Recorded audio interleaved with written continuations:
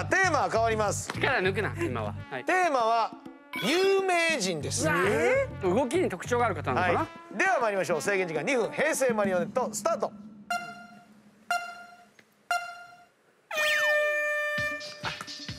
じゃこれこれだ。これでこれだ。あそっちか。これ。ビートたけしさん。こ正解。なんでずれるんだよ。れこれこれ。志村けんさん。違います。もう一回先もう一回。あ オッケーオッケーオッケーこれ動きでしょねえ力抜いてるじゃん何してんだあれこれ大事なとこやらなあか。んよなでもね。そうだね。下下下やった方がいいんじゃん下足も下ね。え足あれこれこれえ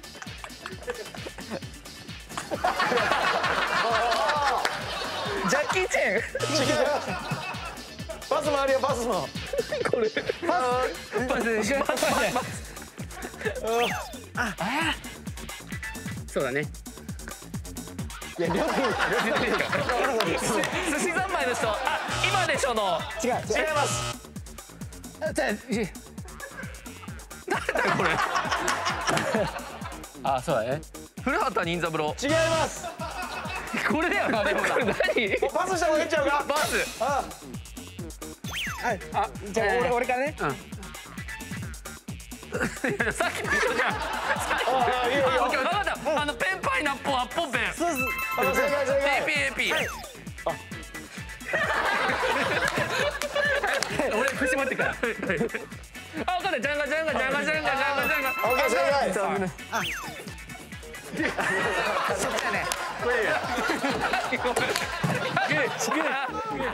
恥ずかしい恥ずかしいよこれ恥ずこれ恥ずかしいよ終了です。じゃあ一個ずつ戻りましょう。パスしたもの。二人目。まず右と左もちゃうしな。左やから。あ左。そうあ分か。った。一郎だ。そうそうそうそうその次片手でそういうふうにする人いるやん。分かった。粗品さん。そうそうそうそうでした。俺が悪いんかな。まずは最後いやるやんそれ。もうちょいもうちょいこう。恥ずかしいよ。もうこれだろ。そうそう誰よそれ。分かった。分かった。そんなの関係ねそうそうそうそうそうでした。吉野君でした。なんだよこれ。これで全ての何ゲー終了。終始負けていた白組が大逆転で勝利。平成マリオネットはなんかもうすごい戦いを見せてもらったね。いやーこれ名物企画になりそうっすね。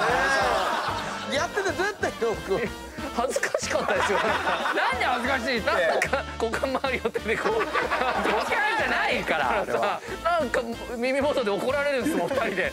なんか力抜け力抜けとか。で力抜いたら抜いたでなんか抜きすぎだ。稲ちゃんなんかたまにこんなになるから。扱いにくかったですよマリオネットは俺のせいなのかよ。だから有村君からしたら他の人でやりたかった。俺も知念だったらいけたよ。マリオネットが知念だったらな。絶対この二人の相手嫌だと思うよ。ガサツ？